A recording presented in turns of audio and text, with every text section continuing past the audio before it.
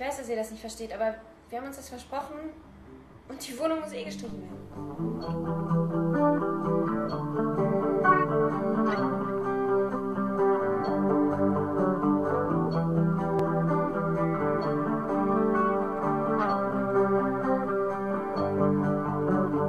Thank you.